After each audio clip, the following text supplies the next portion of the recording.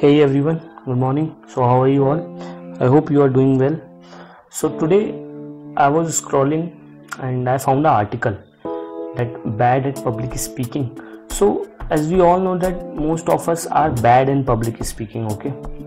And since the we are the pandemic hit us, so it's very important that we should know the ability of speaking because that plays a crucial role. So, here's an article which shows that how you can impress anyone with your public speaking skills. So, this is an article.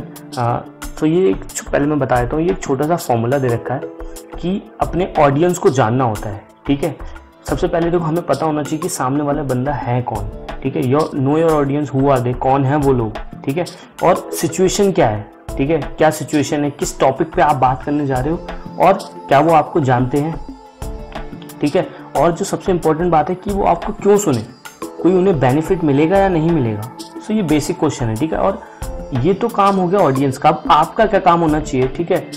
मतलब आप उनसे क्यों बात कर रहे हो? सबसे पहला क्वेश्चन तो ये कि क्यों बात कर रहे हो आप उनसे, ठीक है? और वो आपसे ही क्यों सुने? ठीक है? और ये ज़रूरी है सुनना, ठीक है?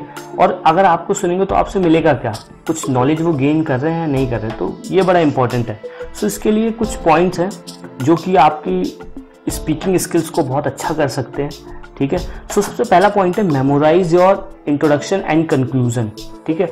सो क्या होता है पब्लिक स्पीकिंग करते वक्त जब भी आप बोलते हो तो आपका इंट्रोडक्शन और जो कंक्लूजन है वो बहुत ही सॉलिड होना चाहिए ठीक है? ऐसा नहीं है कि उसमें फ्लॉज हो बिकॉज़ वो सिचुएशन फिर बहुत ही ऑकवर्ड आ जाती है। जब आप सोच रहे हो कि क्या बोलना है, क्या नहीं बोलना तो वो सिचुएशन खराब है। ऐसा नहीं होना चाहिए। तो आपको इंट्रोडक्शन और आपकी एंडिंग हमेशा अच्छी होनी चाहिए, क्योंकि because the thing that start well ends well so हमेशा इंट्रोडक्शन याद कर लो तो ज़्यादा बेटर है। ठीक है? सेकेंड पॉइंट है इट्स नॉट अबाउट यू ठीक है? तो जो भी आप बोलने जा रहे हो, उसका बेनिफिट आपको होगा, ये मत सोचो। ठीक है? उसका बेनिफिट सामने वाले को होना चाहिए, तभी वो आपको सुनेगा। ठीक है? सो ये बहुत इंपॉर्टेंट पॉइंट है। उसके बाद है do everything you can to help them here and understand you ठीक है? क्या होता है? मोस्टली पीपल नहीं सुनते। एंटिल जब तक कोई अच्छी चीज़ ना सुन रहे ठीक है?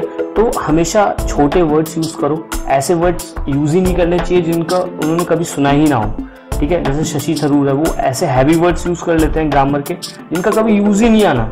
ठीक है, कभी यूज़ नहीं, कभी यूज़ भी नहीं करे हो बुकों में नहीं पढ़ोगे आप। तो ऐसे वर्ड्स यूज़ ही नहीं करने, क्योंकि वो खाली लिसनर को कंफ्यूज करता है, ठीक है? तो हमें ऐसे वर्ड्स यूज़ नहीं करने, छोटे पैराग्राफ हो, छोटे वर्ड्स हों, ठीक है? और हम, ताकि हम ऑडियंस से कनेक्ट हो पाए इजीली फोर्थ पॉइंट है, ठीक है? ज़्यादा don't drop don't drown your audience in data ठीक क्या होता है? कई बार हम स्पीच दे रहे होते हैं तो हम लोग बहुत ही डेटा का यूज़ करते हैं। हम बहुत ही ज़्यादा फैक्ट्स एंड फिगर्स पे प्रेशर डालते हैं, ठीक है? ऐसा नहीं होना चाहिए।